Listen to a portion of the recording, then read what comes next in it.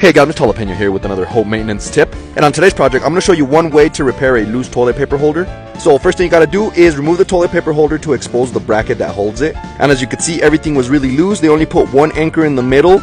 So what I'm going to do here is I'm going to use a toggle anchor on the same hole. This way I don't have to drill new holes on the wall and I don't have to patch these ones. The drywall anchor that was there before holds up to 75 pounds, but this toggle holds up to 175 or something. And if there is a lot of drywall damage, then I would just recommend to relocate that toilet paper holder and obviously patch the holes that are left behind. But in this case, I was able to use that toggle anchor and look super tight. The homeowner was happy that way I didn't have to charge for a patch repair. And as you can see, it's super tight up against the wall. There's no moving anymore.